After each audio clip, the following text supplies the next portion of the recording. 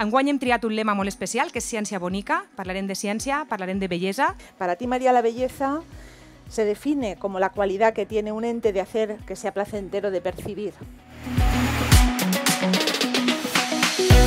Que efectivamente los de matemáticas no vamos a salvar el mundo, pero que los que van a salvar el mundo nos necesitan.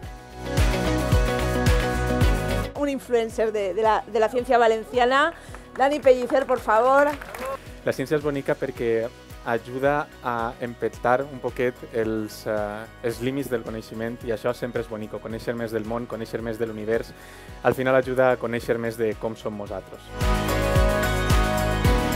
Recientemente ha participado en unas Olimpiadas de Biología, viene recién llegada de Emiratos Árabes, en la cual se ha vuelto con dos bronces y una mención especial. Está claro, Raquel, que a ti te gusta la marcha. ¿Cómo perciben la belleza los animales? ¿Tenemos criterios universales de belleza? Bienvenida, Lorena.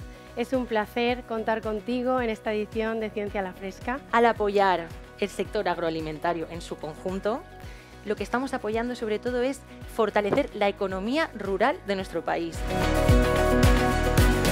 Nos vas a, a dar una noche clara de belleza, de ciencia, de botánica. Es en el caso de Eduardo Baro, al que damos ya la bienvenida también. Yo lo que voy a hacer va a ser hoy un recorrido por uno de los museos que adoro, que es el Museo del Prado. Todo un ejemplo de ciencia bonica. Bienvenido, Carlos. No sabemos muy bien por qué, pero la vida es algo que reconocemos como vivo